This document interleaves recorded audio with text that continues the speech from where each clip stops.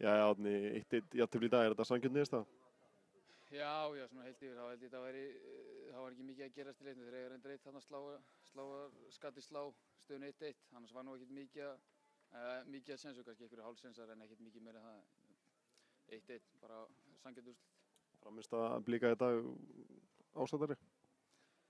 Já, við förum inn og, og ætlum að, ætlum að uh, byrja með smá hápressu og, og, og byrjum mér finnst það ganga vel, við fyrstu 15 skorum hann eftir þrjá mínútur, mér finnst þið stjórnarleiknum svolítið þá. Og svo aðeins, aðeins ja, komast þeir svolítið inn í þetta og, og, hérna eru svona sterkari sem loka kaplanum í fyrirháleik og setnalungu eru þeir kannski aðeins sterkari við en, en getum betur í þetta og sínum það í næsta leik en ég er mjög sáttum með stíð og, og liði í helsinni bara.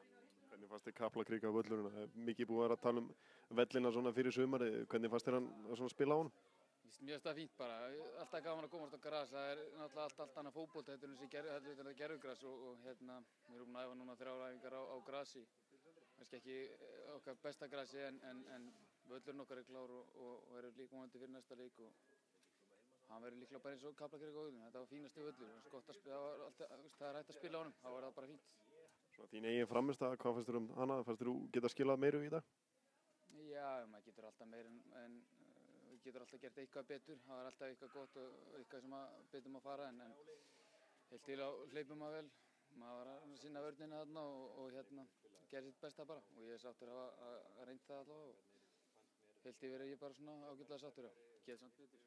Marki fantasíspilar sem hafa trúaðar og voru með í leilum kvöld og alltaf að gera betur næst?